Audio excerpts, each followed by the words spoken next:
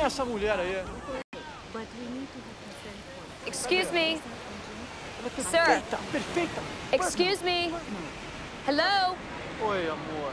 Calma, calma. Vem aqui, vem. Excuse me. Can I help you? No, no, por favor. I must focus here on my work. No, you can't just. You can't please, stand here. Please, forgive my manners. I was just enthralled by your exquisite... How do I say that? Wow. I get the picture. Oh, bueno. Uh, look, it's not just me. You've been leering at every girl on this entire beach. Please, look, this will explain everything. Você, meu anjo, é uma maravilha. I hope to see you soon.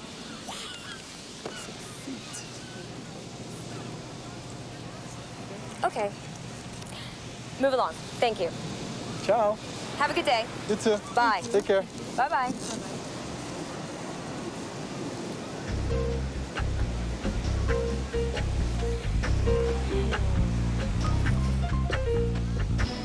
into fashion, right? You ever heard of this guy, Tamale? Are you kidding? Paolo Tamale? Mm-hmm. Of course. You mean you've never heard of Hot Tamales? He's the most famous swimwear designer in the world. No way, not this guy. Well, I've heard he's a little weird, but I mean, he's from Brazil, so who knows? Where'd you get this? He gave it to me. Said he was looking for some models. Well, when? Where? It should say on the card. Well, you're gonna do it, aren't you? I could use the extra money. Excuse me. April, Mitch needs to see you right away. Okay, here you go.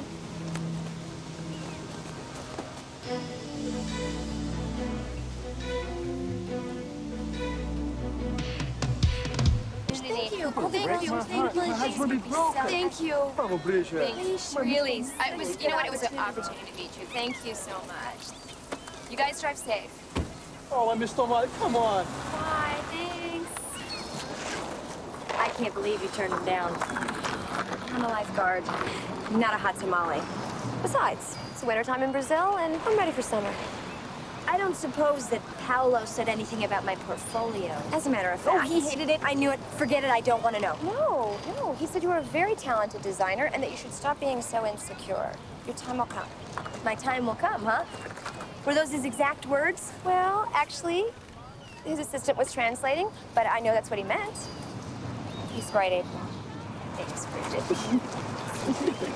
Ladies? Hey. Hey, Chief. Hi, man.